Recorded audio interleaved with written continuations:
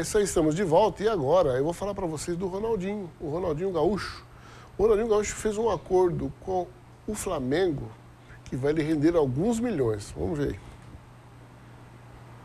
aí. Enfim, o um acordo entre Ronaldinho e Flamengo. O clube e o jogador fecharam um acordo de 17 milhões, sendo a primeira parcela de 5 milhões e os outros 12 parcelados em 10 meses, conciliados na nona vara do trabalho. Depois que deixou o clube em 2012, Ronaldinho acionou a justiça devido aos atrasos e danos morais causados pelo clube. Desde o ano passado, o rubro-negro tentava acordo com o jogador, que não aceitava os valores propostos desde então. O vice-presidente jurídico do Flamengo, Flávio Willeman, afirma que não haverá impacto no orçamento e que, segundo ele, o acordo foi vantajoso. A primeira parcela deve ser paga ao jogador no início de março, pondo um fim na história após três processos. É, é uma boa grana, mas na verdade o valor era bem maior. Esse acordo aí o Flamengo acho que acabou aceitando porque tá, tinha mais de 40 milhões de dívidas. Era muito dinheiro, passou, ficou em 17 milhões parcelados aí. Eu acho que foi de bom tamanho para o Flamengo e o Ronaldinho deve ter facilitado porque era bem mais o valor, acabou de bom tamanho. Acho que para o Ronaldinho também, que já está rico, não sabe nem onde pôr mais dinheiro, né? Se quiser fazer uma doação para mim também, eu aceito. Agora, gente, olha só, vamos falar de torcida. Lá no Sul, a torcida do Internacional se envolveu numa confusão e acabou sendo suspensa a torcida organizada. Vamos ver a matéria.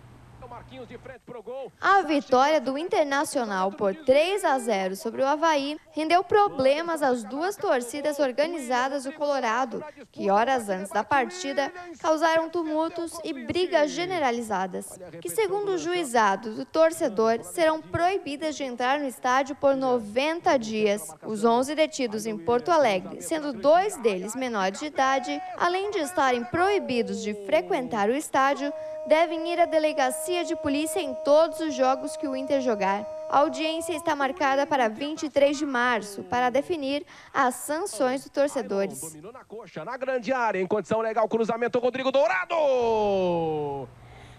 É, fez confusão, brigou, arruaça, tem que ser suspenso mesmo. É lógico é uma minoria, gente. A torcida uniformizada, eu, eu, minha opinião, a torcida uniformizada, eu acho que faz parte.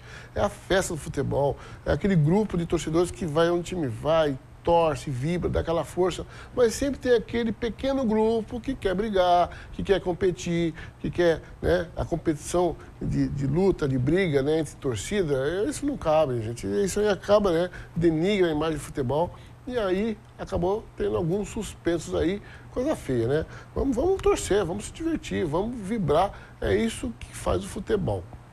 Agora, vamos falar do Daniel Alves. Daniel Alves lá na Espanha, né? Lá no seu Real Madrid, ele mandou um recado pessoal de Uberlândia. É o seguinte, o Daniel Alves, ele mesmo, ele, Daniel Alves do Barcelona, pode acreditar, lateral do Barcelona gravou um vídeo convocando os torcedores do Uberlândia para a partida contra o Vila Nova. Vamos conferir aí. Fala, Daniel. A galera do Uberlândia, City, time, tudo. Vamos comparecer contra o Vila Nova aí. Animal Verdão, o Brancão, tudo que vocês quiserem aí. Valeu? Super abraço. O Daniel Alves, lá do outro lado do mundo, aqui dando força para o Uberlândia, né? Que ligação será que ele tem com o Uberlândia? Será que de repente tem amizades lá dentro? Mas ele aí dando aquela força aí pro pessoal do Uberlândia aí contra o Vila Nova. O Vila Nova, inclusive, vai, que é o, é o time do. Me fugiu o nome agora, que foi, foi o Wendel, Wendel. Ah, do melhor. É, do melhor Vila Nova, ele joga no Vila Nova. Agora vamos ver gols, gols da Copa Verde. Pode soltar. Pela abertura da Copa Verde em 2016, Brasília e Vila Nova se enfrentaram numa nega rincha e os goianos saíram na frente com Diego Cardoso, após cobrança de escanteio. No segundo tempo, o Brasília, em uma jogada de craques, pelo menos nos nomes, chegou ao empate. Nelinho cruzou a bola para a área e Michel Platini, isso mesmo, Michel Platini, cabeceou para o fundo do gol. Placar final em Brasília, Brasília 1, Vila Nova também 1. É isso aí. Tem gols também da Copa Nordeste. Pode soltar. Pela Copa do Nordeste, o Bahia recebeu a Juazeirense e venceu por 3 a 1.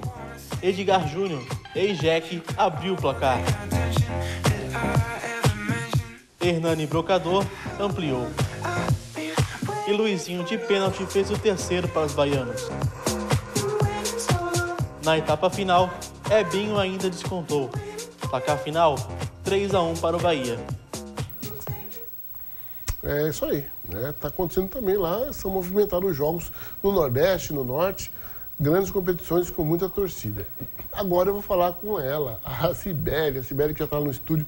Tudo pronto, tudo a postos, porque sempre tem coisa boa, sempre coisa legal e coisa gostosa, que eu não deixo escapar nada lá, né? Bom dia, Cibele, como está você? Bom dia, Luiz Santos. Bom dia, Letícia. O nosso programa de hoje está maravilhoso e eu estou muito bem, obrigada.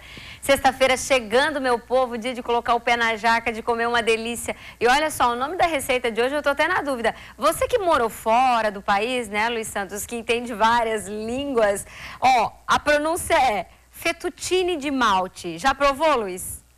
Ah, Belinha, já fettuccine hum, é muito bom. Que rico. Que, que, que, que bom que...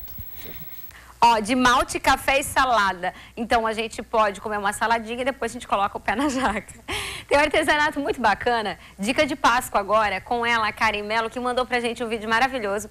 Como você pode reutilizar uma lata. Essas que vem Nescau dentro, vem Neston e assim vai, muitas das vezes vai pro lixo, né? E a gente vai estar tá reutilizando aqui. Tem música ao vivo e entrevista no nosso programa também. Tá imperdível. Eu convido você que está em casa assistindo aí TVB Esporte, para ficar ligadinho. O nosso programa começa a partir da 1h15, depois do Jornal da TV Brasil.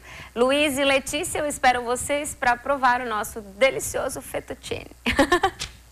Ah, eu tô curiosa. Seguramente eu vou experimentar fettuccine. Daqui a pouquinho eu tô aí, então você de casa, né? Um beijo para você, Belinha, que já já tô aí. Você de casa já sabe, depois do jornal começa o melhor da tarde, que é o melhor que você tem para fazer à tarde, né? Gente, o nosso tempo acabou. Mas amanhã nós voltamos, voltamos com o Papo de Arquibancada. É o programa né, que vai um pouquinho, insistindo um pouquinho mais, né, vai até uma da tarde, com muita informação para você, é, detalhes que você não conseguiu ver durante a semana. Você vê com a gente aqui no sábado, né, uma retrospectiva, sempre tem um convidado.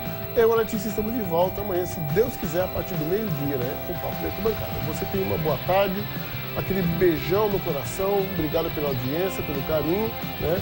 E faça como a Letícia agora, né? A Letícia agora vai almoçar, eu também, né, Letícia? Né? Você dê um bom almoço e até amanhã, se Deus quiser. É isso aí, Luiz. Amanhã a gente está aqui de volta, meio-dia, num sabadão, tão esperado sábado, mas é isso aí. Eu espero você meio-dia em ponto com muita informação.